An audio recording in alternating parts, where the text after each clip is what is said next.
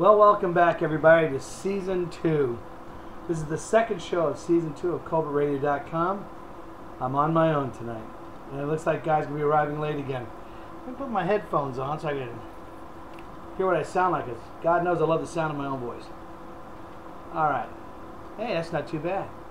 Well, let's see. What do we got for you today? It is January the 18th. It's Martin Luther King Jr. Day, and uh, I'd like to remind everyone that I think Dr. King was actually a great man.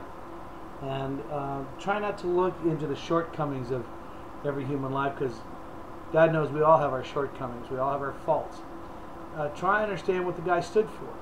I can't imagine anything in what Dr. King spoke about that we would find negative. The only thing that concerns me is that so much of what Dr. King was talking about seems to have gone out the window, both within the American political scene, and I think to a large extent among the leaders of the uh, of the civil rights community. Uh, yeah, I don't know. I, just I wonder how Dr. King would react to the issues of today. Let's start with a Jewish proverb. You know, I love my Jewish proverbs. A lot of people don't realize it, but uh, the beginning of the Reform, uh, the beginning of Reform Judaism began right here in uh, Charleston, South Carolina, with the beginning of uh, Jewish services in the vernacular. And if you don't know what vernacular means, it means the language of the people who live there.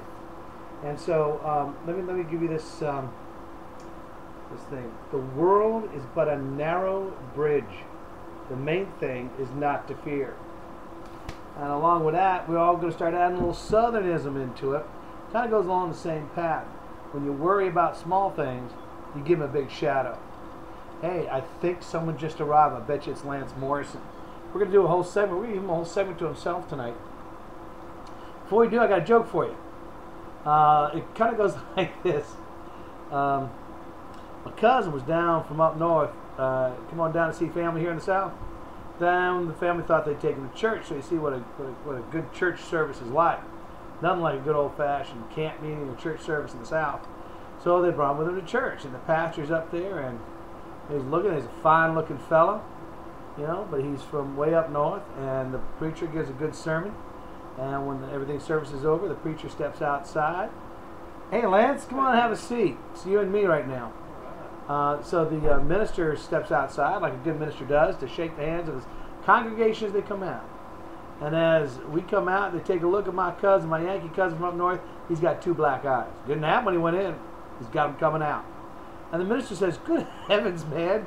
How in the world did you manage to get a black eyes uh, in the middle of a church service?" And and my cousin said, "Well, Reverend, here's the thing. When we all stood up during the during the services, the woman in front of me, well, I noticed her dress somehow got wedged up in there. And being a good Christian fella, I thought I'd do the right thing. Your sermon moved me, so I'd do the right thing. So I gave a little tug on that dress and pulled it on out of there for her. You should turn right around and punch me right in the eye. I got to tell you, Reverend, that hurt. That woman could that woman could deliver. She brought that from downtown. And the and the Reverend says, well, okay, that explains that one black eye, but how'd you get two?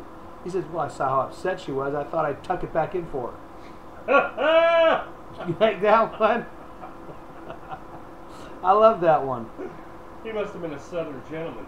He, well, he was trying to learn to be a southern gentleman. Everybody, say hello to Lance Morrison. Hey. Lance, say hello to everybody. Hey, how's it going, everybody? We have no show written tonight. I decided to take you because I thought everybody else had something they wanted to do. We're going to have, a segment just for Lance. Uh, so that'll be segment three. It'll be for Lance. And uh, unfortunately, no one's here. And I'm going, oh, great. Well, one time I don't sit there, I've got this reams of outline ready to go. No one shows up. Well, when you say we're going to shoot from the hip, you know, this is this is their version. They're shooting from. They're to They're just going to shoot later. That's right. Well, it's not like we don't have a lot to talk about. I even got this thing here. I'm not, I'm not entirely certain your, your bride didn't send this to me. It's based, no, no, she didn't, but it's based upon computers and it's based upon the old Abbott and Costello who's on first routine. We might read that off today. So, Lance, how you been? How are your holidays? Okay, okay. You know, had the whole family dynamic thing going on. You know, you lead up to the holidays and everybody's counting on pins and needles and everything else, and so I'm personally glad when they're over. It's just, it's just the drama. I mean, it's unbelievable that I'm not in the drama. on the face of it. But yeah, it went, it went okay. I didn't get anything because you know technically I'm unemployed. How unfortunate. yeah, I, Oh, I we're talking get- about Christmas presents. I didn't get any gifts either. Oh, okay. Um, so uh, so that was not you know we, we actually this is this is how you know you're old married couple. Now my wife and I got carpeting for the house. And, Merry that's, Christmas. That's exciting. we we laid some carpet in two bedrooms, and I've been painting. I'm doing a lot of painting, doing my part as the uh, the good husband that I am. So yeah, it's been a big uh, big year for me. Oh God, painting. Women love painting. I, I know. I'm a regular Picasso. Man, I tell you, I can cut in with a brush now like nobody's business. I don't want to brag, but if you came to my house and watched me, you'd probably just give up. You'd, You know, I saw a wonderful. It it actually involves Rosie O'Donnell. She, you know, sometimes she does some really brilliant things. And there was a movie she was in with Dan Aykroyd of all people. They go to some kind of a an island where uh, where this, everybody's promiscuous. It's this, you, know, you go there and everybody's just having, you know, promiscuous sex, except for her and Dan Aykroyd.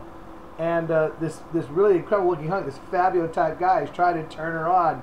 And she goes, "You want to turn me on?" He goes, "Yes." She says, "Paint my house." I thought, what a great line, and Rosie O'Donnell delivered it beautifully. I don't care about her politics on that one. When you're good, you're good. Like that. Really cool. Well, how was your holiday? My holiday was just fine, just fine. Uh, my this was my Christmas of the dog. Uh, my daughter was off uh, visiting uh, in-laws and wanted to take uh, my son, take her brother Drew, to Universal Studios as his Christmas gift. And so, but someone needed to watch your dog Hugo. Which, if you go and you check out Percy's site, you'll see Hugo. That that damnation dog, that's Hugo. and uh, so uh, I spent about 10 days taking care of a dog over the Christmas holidays. So, needless to say, that's pretty much all I did. But you know what? I really do love the Christmas holidays. I just love them. But I also, when it's over, it's over. And I can't, that's it. Right, tree out of here. Get out of the vacuum, get these stupid needles up on the carpet. I'm ready to have my house back. But the whole period leading up to it is really wonderful. I enjoy that a lot. Well, we're going to have to go out and come back in just a minute. We want to welcome everybody back to our second season, second show of ColbertRadio.com. This is our 31st uh, episode, and we'll be right back with ColbertRadio.com.